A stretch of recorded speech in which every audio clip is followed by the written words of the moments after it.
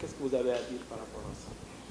Oui, merci beaucoup. Euh, je voulais juste vous dire que je ne voulais pas quand même répondre à ces, euh, au discours des syndicalistes. D'abord, je les félicite de cette alliance qu'ils ont eu à mettre sur place au niveau de l'hôpital. Ça nous facilite, nous, euh, d'avoir un seul interlocuteur. Donc, je les félicite par rapport à ça. Et si ça œuvre pour le développement effectivement de l'hôpital, c'est une excellente chose. Maintenant, quant aux déclarations, ce n'est pas pour un démenti, mais juste rétablir euh, effectivement euh, la vérité. C'est uniquement 844 millions, en tout cas à ma gestion, 844 millions. Et ces 844 millions ont fait l'objet d'un euh, plan d'action validé au niveau de l'hôpital mais également par l'ensemble des travailleurs, je, le répète, et également envoyé au niveau de la tutelle, c'est-à-dire le ministère de, l'action, de la Santé et de l'Action sociale, qui a validé à son tour, et ce qui nous a permis de dérouler hein, le plan d'action euh, qu'on avait concocté au niveau de l'hôpital. Et contrairement à ce que les gens se disent, peut-être que c'est une incompréhension, il n'y a jamais eu 800 millions plus 200 millions. C'est juste 844 millions avec des rubriques. Et pour la réhabilitation, la rubrique ré réhabilitation, on lui avait octroyé un montant de 200 millions. Pour la rubrique équipement médical, c'était plus de 400 millions.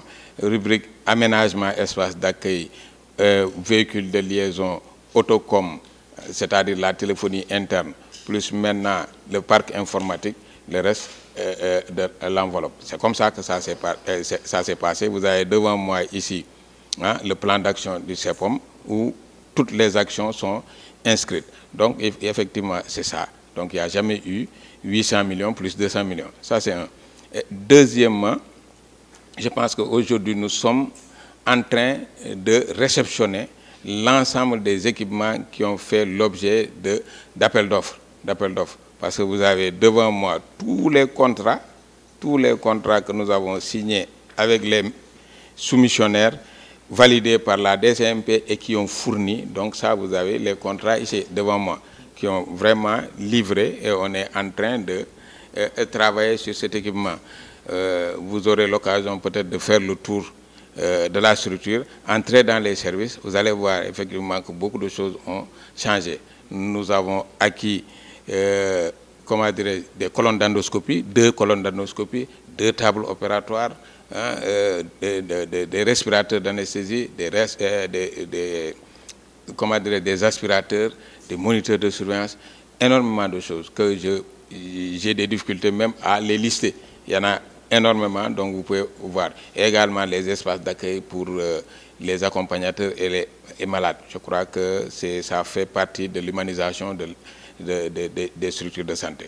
Donc, c'est effectivement ce qu'on nous, euh, on a parlé d'autoclave également. Nous avons acquis un autoclave tout neuf de 300 litres avec euh, accompagné de séchoirs, de repasseuses et de machines à laver. Je crois que c'est la première fois au niveau de la structure.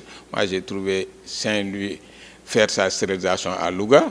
Euh, je l'ai sorti de ça. Hein, c'est le ministère par le biais du ministère de la Santé. Ça, c'est l'histoire ancienne. Je crois que quand même, on peut aller vérifier on verra effectivement qu'on a un autoclave qui marche. Ça, c'est l'histoire ancienne. C'était 2015. À mon arrivée, j'avais trouvé effectivement que les gens faisaient la stérilisation à Louga. Mais depuis lors, il n'y a plus de stérilisation. Maintenant, au moment où on remplaçait cet autoclave en mettant un nouveau autoclave, il faut une installation. C'est les 48 heures qui ont permis d'aller à Louga et revenir. Mais ça, c'est plus que normal c'est normal. Donc on ne peut pas 48 heures arrêter les activités du bloc. J'ai dit non, il n'est pas question. Le gars est à côté de nous, il faut qu'on aille stériliser et revenir travailler.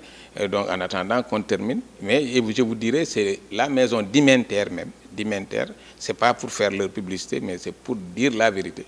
C'est Dimenter qui a gagné ce marché d'autoclave, qui a installé et cet autoclave est opérationnel aujourd'hui. Voilà, donc il euh, n'y a pas eu de problème. Et pour les problèmes de gants, je crois que quand même, il faut qu'on cherche raison garder. Nous n'avons pas de problème de gants à l'heure actuelle. Donc à un certain moment, peut-être, il peut y avoir un problème de gants. Et ça, il faut dire que si la PRA a des ruptures, nous, nous avons quand même la possibilité de voir d'autres fournisseurs hein, qui nous donnent des gants. Aujourd'hui, dans l'hôpital, il y a des gants. Nous, nous nous nous amusons même pas à nous amuser. Nous sommes en train de faire un dépistage du cancer du col avec des partenaires américains à l'heure où je vous parle. Et vous savez que le dépistage, c'est du gant. Et où est-ce qu'ils ont trouvé du gants Ils n'ont pas amené de gants. C'est nous qui leur avons donné du gants. Donc, ce qui veut dire que s'il y a une pénurie de gants, on n'allait pas vraiment se lancer dans, ce, dans cette campagne de dépistage. Donc, euh, j'avoue que c'est les quelques mots que je voulais euh, dire par rapport à ça. Voilà, pour la réhabilitation, 200 millions ont été alloués à la réhabilitation un cahier de charge a été fait, un appel d'offres a été lancé. Il y avait 10, 13 soumissionnaires, je crois bien, 13 soumissionnaires, mais malheureusement, ils n'ont pas rempli les critères des cahiers de charge. Le marché est revenu infructueux. Et c'est tout à fait normal. Un marché infructueux, on ne peut pas faire autre chose.